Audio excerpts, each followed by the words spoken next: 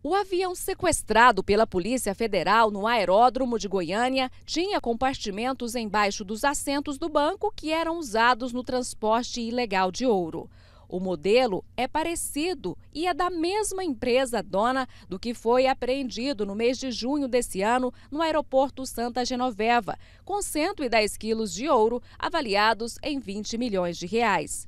A documentação apresentada pela empresa fez a polícia descobrir um esquema de retirada de ouro em garimpos ilegais e que era regularizado com documentação de uma mina com autorização para a exploração do metal, só que ela não funcionava.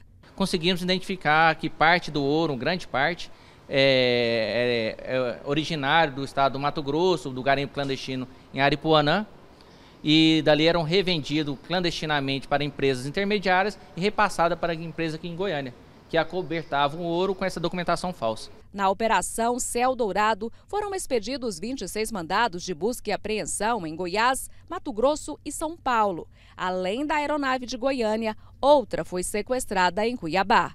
Essa mina, em Coniza, no Mato Grosso, que ainda estava sendo ativada, é de onde a empresa de Goiânia dizia retirar o ouro.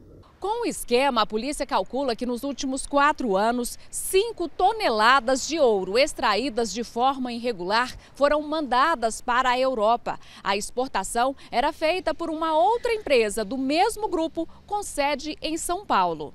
É uma empresa legal, com autorização para extração de ouro.